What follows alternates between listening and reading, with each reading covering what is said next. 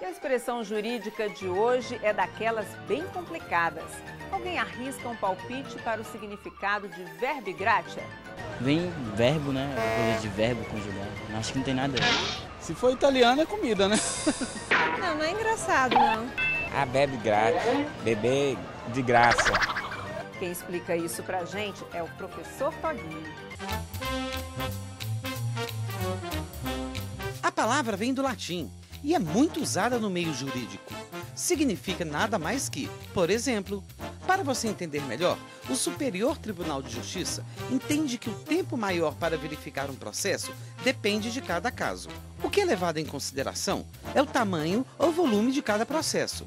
Por exemplo, o verbo gratia ou a quantidade de pessoas envolvidas, que são as testemunhas e réus arrolados na ação.